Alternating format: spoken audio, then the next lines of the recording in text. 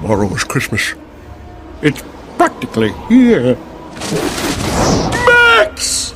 Fetch me my sedative!